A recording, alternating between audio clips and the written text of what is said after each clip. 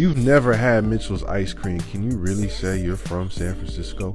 Since we're partnering with Mitchell's for the History of the Bay Day Party July 9th at the Midway, I decided to stop by in person, which was perfect timing because Mitchell's is actually celebrating their 70th anniversary at the same location where they've been delivering classic Frisco flavor for generations.